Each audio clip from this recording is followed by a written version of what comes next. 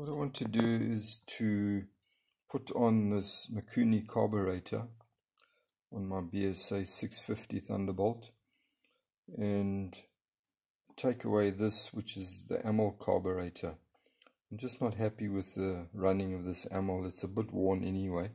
So I want to put on this Mikuni. So I'm going to make up an adapter plate that's going to connect this to the inlet manifold. So this is the inlet manifold here, which I need to make an adapter plate to connect it to the, the new carburetor. So what I've done is I've got a piece of steel here. This is in my faceplate.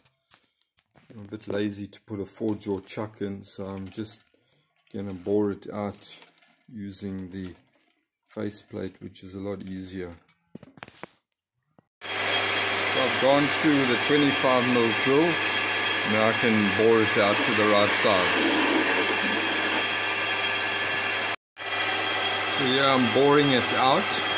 This is going to take this part here, which I made earlier. Notice there's a shoulder on there, so that will fit into there snugly.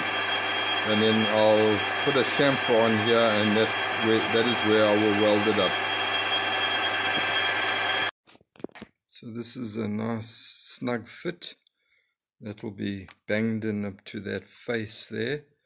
And then I can weld on the other side. This will connect the two flanges.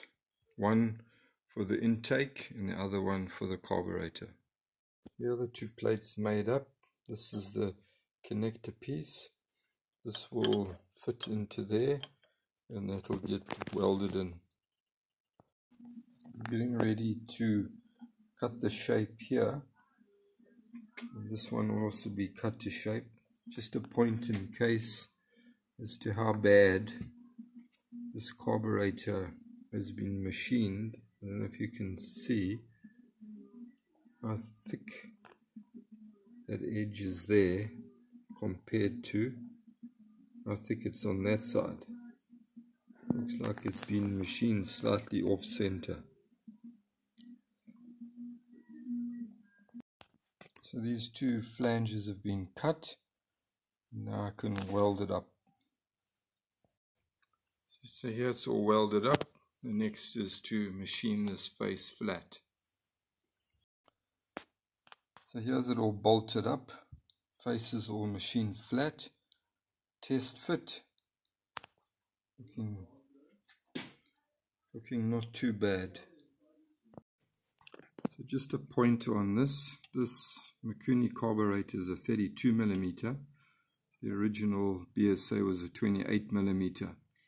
But what I've done is I've kept this inlet manifold, which is extension that I've made there, parallel. So it's all 28 millimeter so that I get the suction to get the fuel from there into the engine. Seems to work fine. First kick, idles nicely now. Nowhere on the carburetor just looking at the records, this carburetor came off a 1972 Yamaha RT2, so that was the the DT360 of the day. Um, also a good a good bike, but uh, it seems to work pretty well, even though it's a 32 millimeter on a 28 inlet, no problems.